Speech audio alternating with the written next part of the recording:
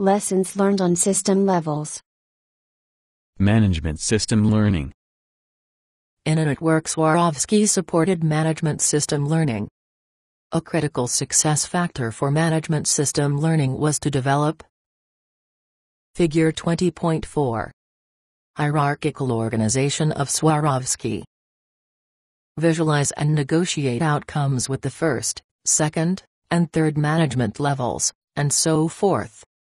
Network results prove that the time investment into cooperation led to more efficiency and profit.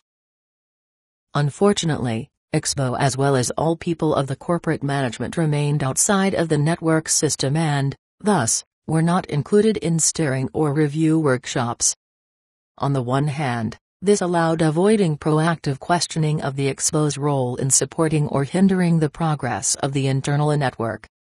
On the other hand, Top management welcomed results of InnoNetwork but was not committed to generating results within network structures and procedures.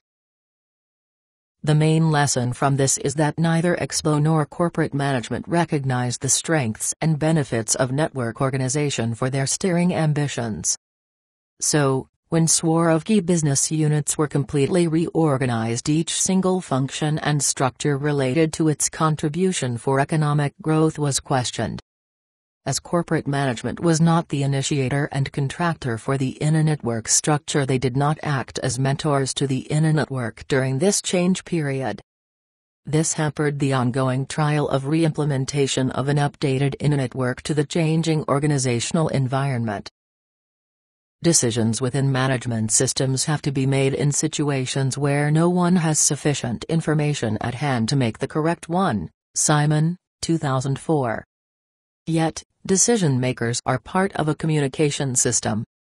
Thus, InnoNetwork Swarovski could not be invented by a single decision of the VP of Innovation but had to be conceptualized and implemented by a critical number of internal entrepreneurs, supported by a mixed internal-external staff, group adding outside perspectives and interventions to reduce existing blind spots.